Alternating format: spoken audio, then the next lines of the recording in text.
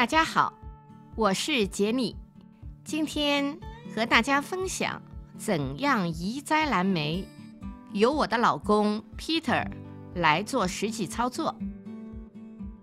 我的视频都含有中文和英文的字幕，请大家打开字幕，这样看起来也许会方便一些。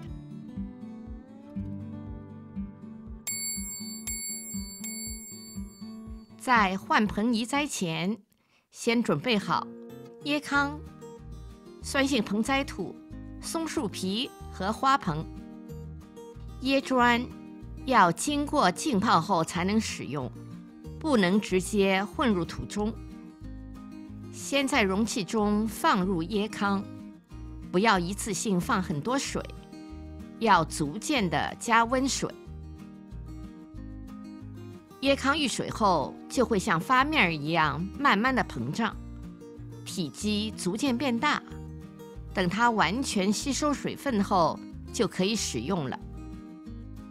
在移栽前，把花盆用水枪清洗一下，这样可以清洗掉原先有可能留在花盆里的虫卵。移栽用的盆栽土要选用优质盆栽土。Premium Potting Mix，因为优质的盆栽土里含有慢性释放的肥料和润湿剂，pH 值在4.8到5.8，正好符合种植蓝莓的要求。为了日后更好的培育蓝莓，建议买一个 pH 值测定仪。有资料显示。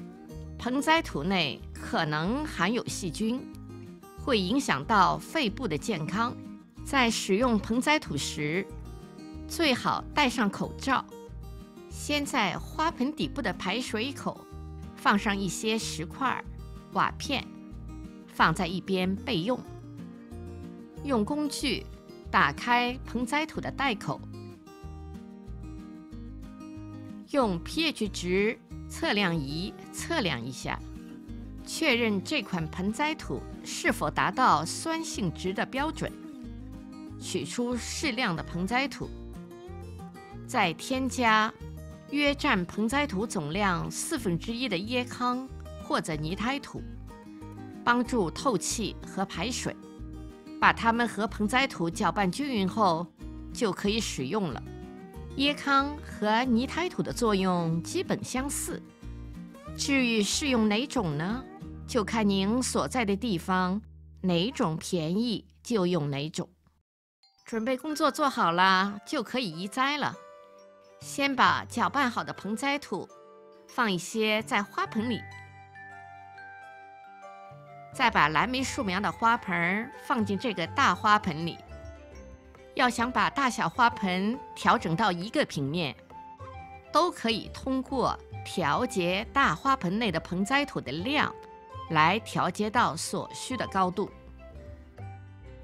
然后把蓝莓树苗盆放横过来，轻轻地拿出蓝莓小树苗，把它放到一边，把刚才用的小花盆放到大盆的中心位置。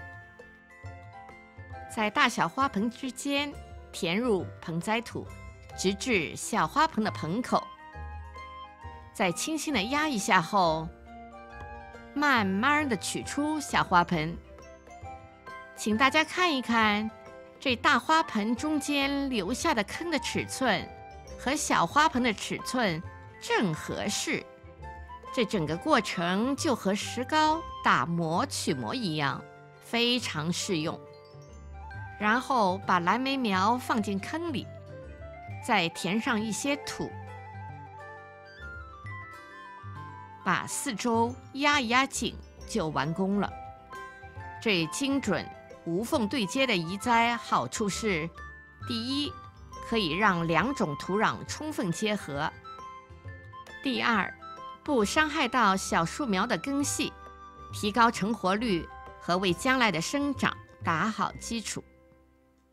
以前我在换盆的时候，总把小花盆放进大花盆，拿进拿出，折腾好多次。自从琢磨出了现在这个点子后，就方便多了。现在我把镜头推近一些，让您充分了解这种移栽方法。有些人可能认为这个盆栽方法是多此一举，其实我们在家庭中搞些种植，也就是兴趣爱好。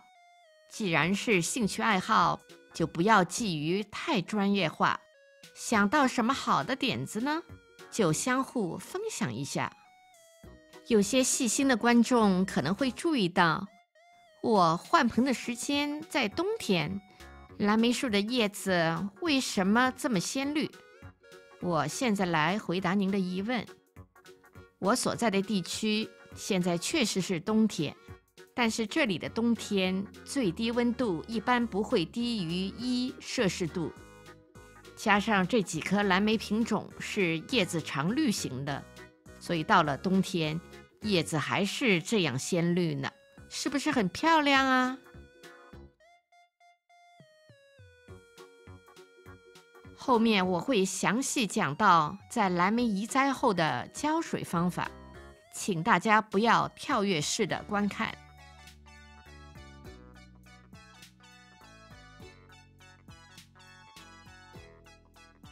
在种植蓝莓的过程中。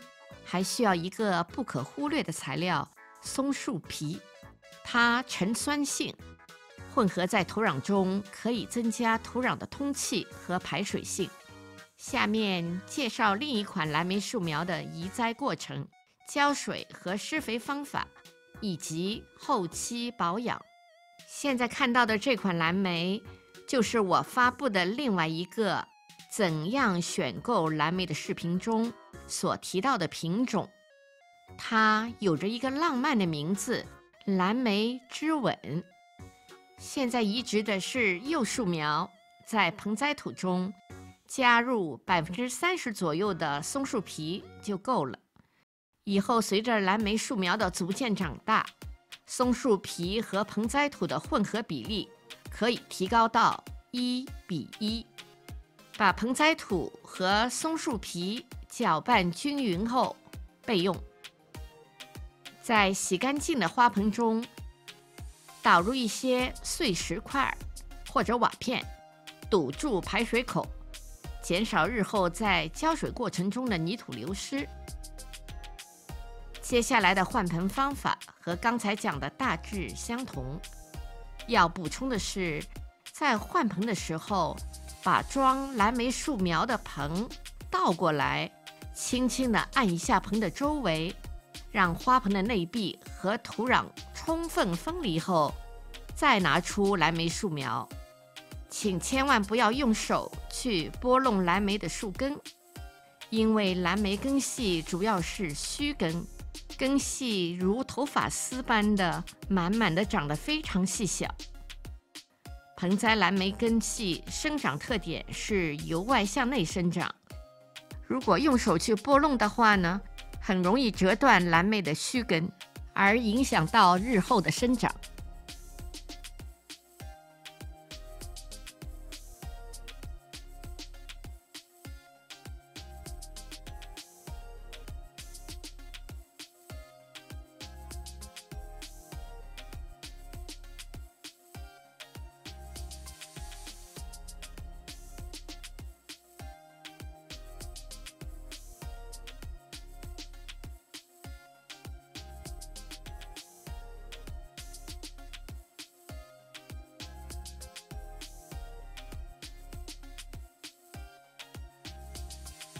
换好盆后，在表面添加一层松树皮，以保护表面的根部和减少水分的蒸发，并让蓝莓树苗有一种回归到大自然的感觉。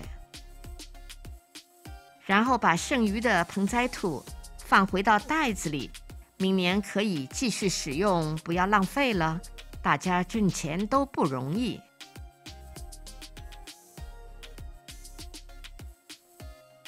下面讲讲蓝莓的浇水方法。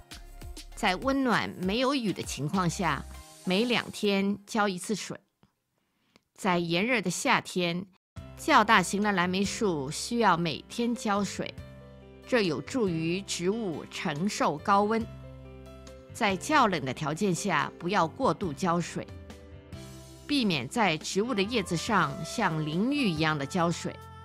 这样的浇水方法容易在叶面上产生真菌。每次浇水要浇透，直到水从盆底排出。给蓝苗树苗换盆时，不要一上来就给它换成大盆，因为蓝莓小树苗吸水能力弱，直接换大盆的话会造成烂根或者徒长。用这个大小的盆就比较合适，一般换盆比原盆大一倍左右就比较合适。打个比方，到了明年，这棵蓝莓小树苗比现在看到的更茂盛了，需要再次换盆的时候，再来用这个尺寸的花盆就合适了。到了移栽后的第三年，我们才需要换成这样大的花盆。这花盆的尺寸，直径大约是五十 cm，它可以容纳蓝莓树长到一点五米到两米左右。